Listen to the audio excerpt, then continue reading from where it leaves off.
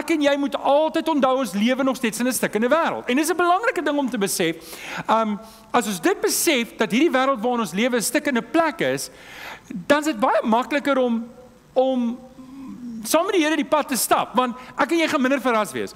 Dit verstom my oor hoe verras kinders van die Here is wanneer dinge skeefloop, wanneer hulle ontdek die wêreld is stikkend. Oh, maar dit is nie veronderstel om met my te gebeur nie. Ek is 'n Christen. Weet julle, meeste as ek en jy die geskiedenis lees van die vroeë kerk, weet julle hoe wreed is hulle vervolg? Weet julle hoe wreed is hulle vervolg? Dankie oom Jan. Ek gaan vir ek gaan oom Jan dankie. Ek gaan vir julle een illustrasie gee. Ek gaan vir julle een illustrasie gee.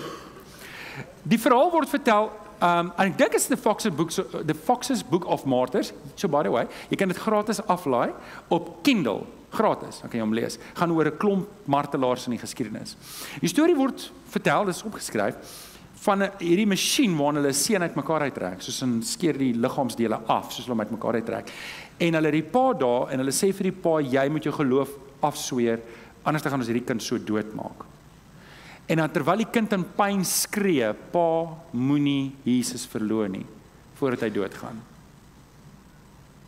Nou manne, maas, verbeel jouself jy's in daai situasie. Um ons moenie so verras wees wanneer ons sien die wêreld is stikkend. Hierdie wêreld is werklik 'n stikkende plek. En ek en jy is nodig om hier te wees want ons is die lig en ons is die sout. Ek en jy het nodig om vir die wêreld te wys wanneer goed skeefloop, hoe dit lyk. Ek kan nie elke keer my beerings verloor wanneer goed skeefloop nie. Dit moet juis wys dat Jesus in my is. Ek het nodig dat jy jou oë op die Here Jesus moet hou. Ek het dit nodig. Um en daarom moet ek en jy verwagting bestuur doen. Hoorie, kry jou reg dat goed waarskynlik iewers gaan skeefloop. OK? Neem nou 'n besluit dat jy die Here gaan uitleef in daai situasie. Um Ons almal van ons het 'n koning Ahas vir ons in ons lewe. Ons almal het 'n Aman in ons lewe. Almal van ons kom op plekke waar goed nie is soos wat ons dit wil hê nie. Ons almal het te doen met 'n leerstelling. Ons het almal, dis nie net jy nie. Die ding is net, hier's 'n groot uitdaging. Ek beleef my teleurstelling en seer groter as wat jy joune beleef. Weet jy hoe weet ek dit? Want ek beleef myne, maar kan nie joune beleef nie. Net so beleef jy joune weer groter. En ons moet daai begrip hê. Ons moet verstaan dat hierdie wêreld is 'n stikkende plek en tot Jesus ons nie kom haal of ons hier hemel toe gaan nie, is dit waar ons is. Psalm 37 vers 1 tot 3.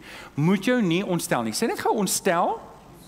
Moet jou nie ontstel oor skelms en jou kwel oor skurke nie, want soos gras vergaan hulle gou en soos groenigheid verdwyn hulle sommer. Vertrou liewer op die Here en doen wat goed is, woon en werk rustig groot. Moenie jou laat afsit in hierdie lewe wanneer goed skeefloop nie. Moenie jou so ontstel oor goed wat skeef. Moenie jou so ontstel oor die politiek nie. Moenie jou so ontstel oor die rentekoerse nie. Moenie jou so ontstel oor die petrolpryse nie, die oliepryse nie. Moenie jou so ontstel oor die JSE nie. Alles gaan verbygaan en ons gaan na die Here toe gaan. As ek en jy ons so ontstel soos die wêreld, wat lyk ek en jy anders as die wêreld? Wat beteken Jesus vir my en jou as ek presies soos die wêreld lyk wanneer daar krisisse kom? Ons moet anders lyk. Ons moet ons oë op die Here Jesus hou. Want want hy is ons verlosser. Hy is die een wat dit vir ons die moeite werd maak. Hebreërs 12 vers 3. Ons het laasweek ook na Hebreërs 12 gekyk wat sê hou hom, dis Jesus voor oë wat so vyhandige optrede van die sondaars, ons moet dit ook te wag te wees, van die sondaars teen hom verdraai, dan sal julle nie wat word nie Julle sal nie geestelik moeg raak nie. En dit sien ek. Ek sien baie Christene is geestelik moeg. Weet julle hoekom? Want hulle doen presies wat die wêreld doen. Hulle hou hulle oë op die wêreld.